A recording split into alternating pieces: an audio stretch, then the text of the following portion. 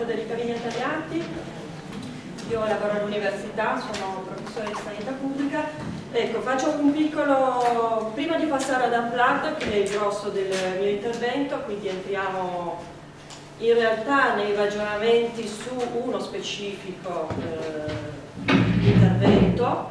eh, volevo fare un pezzettino iniziale eh, però non mi voglio eh,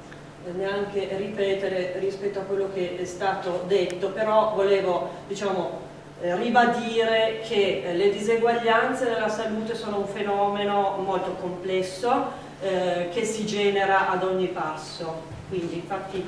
questa prima slide un po' pericolosa era meccanismi di generazione delle diseguaglianze nella salute in prevenzione primaria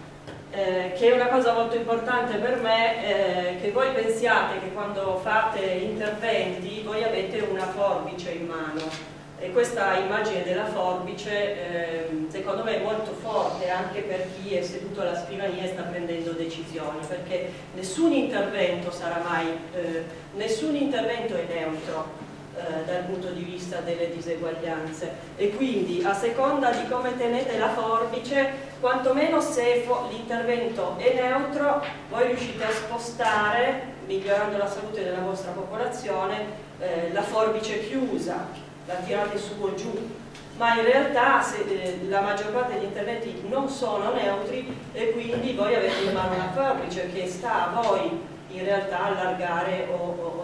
o, o restringere. Quindi il,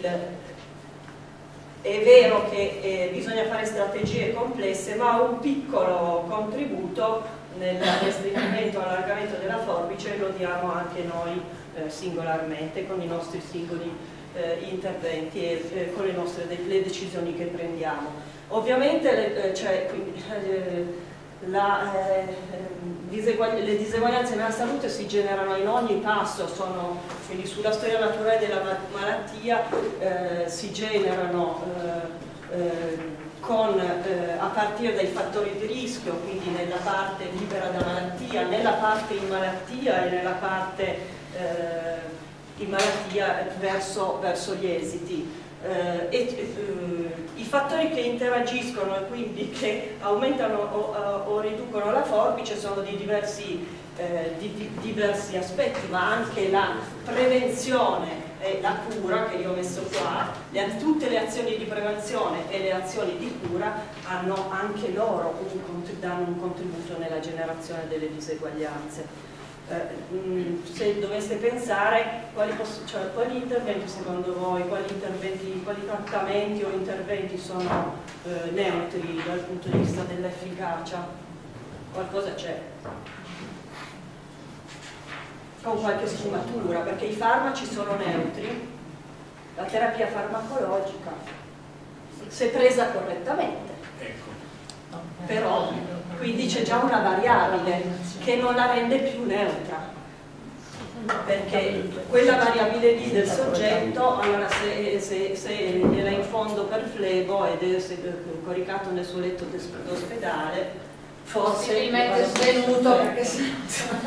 però già se sto somministrando una terapia o l'antidiabetico orale poi la sua efficacia dipende dal fatto che il soggetto me la, me la prenda correttamente, quindi c'è una variabile e quindi c'è un'azione dell'operatore in quell'azione, cioè,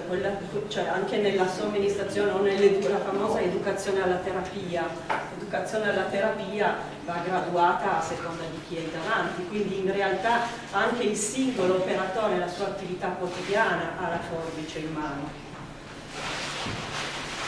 Eh, allora, sugli interventi eh, di prevenzione primaria,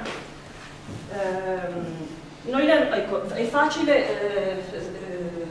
dividerli in universali, selettivi e indicati eh, e sul ragionamento ri rispetto alle diseguaglianze questo ci facilita a dire che eh, è difficile che gli interventi selettivi e quelli indicati, che quindi agiscono su sottopopolazioni, come target sottopopolazioni, che sono già sottopopolazioni o a rischio oppure francamente avanzate nel comportamento a rischio, queste due sottopopolazioni, se noi le, eh, le, le rendiamo destinatarie dei nostri interventi,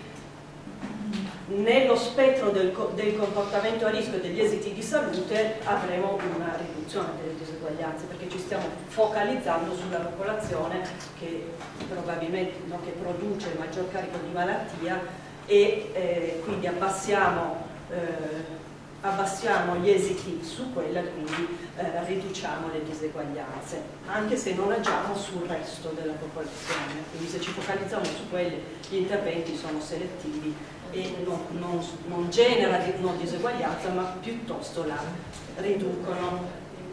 Sia gli interventi selettivi ecco, possono ridurre le diseguaglianze ecco, dovrebbero essere associati questi eh, interventi selettivi sono molto importanti per essere associati agli, agli interventi universali perché se tu usi interventi selettivi sulle popolazioni a rischio e, inter e interventi universali in generale stai affrontando meglio un problema sul carico più grosso del problema e però stai anche eh, utilizzando intervento universale sul resto della popolazione. Quindi a mio parere i selettivi andrebbero usati nell'universalismo proporzionale, cioè per essere un po' più eh, spinti nell'azione su, eh, su chi è più vulnerabile e ne ha più bisogno. Ecco, gli interventi di promozione della salute, questa diapositiva fa un po' stridere, fa un po' paura, eh, però se voi ci pensate,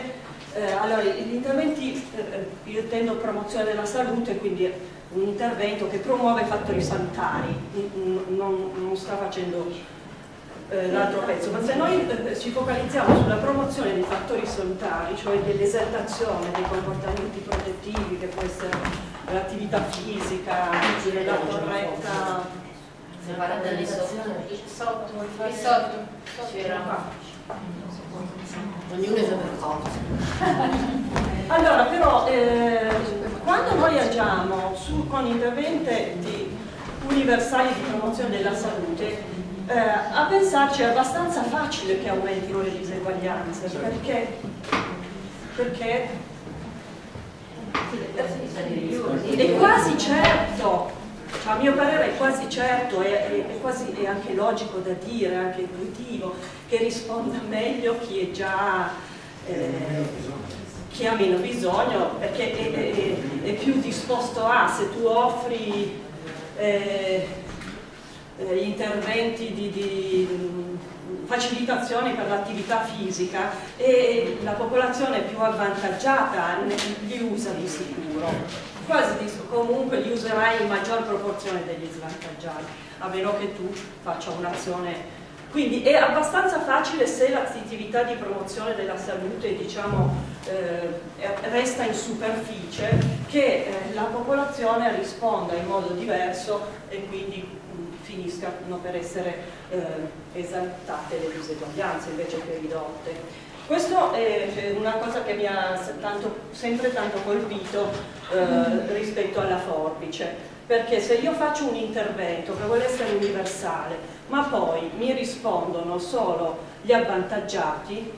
e, e, e io li beneficio, beneficio loro e gli altri stanno fermi, gli altri stanno fermi o comunque rispondono di meno e io allargo la forbice. Eh, quindi anche nella, cioè lì, dobbiamo saperlo che abbiamo quello in mano, a livelli, diversi livelli dell'operatore, ma lo dobbiamo sapere che la forbice ce l'abbiamo in mano, quindi qualunque cosa facciamo e che solo strategie a largo eh, spettro riusciranno a ridurre questo problema. Ecco, gli interventi eh, preventivi universali, ecco, questo, eh, ecco, quindi da un lato potrebbero, da un lato ehm,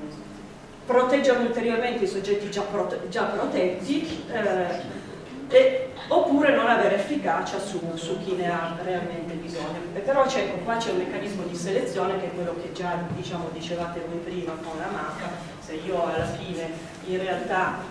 eh, agisco, cioè seleziono la mia popolazione oppure la mia popolazione si autoseleziona no? e quindi sono le scuole che chiedono a me un intervento e le scuole avvantaggiate che chiedono a me di fare cose, io rispondo.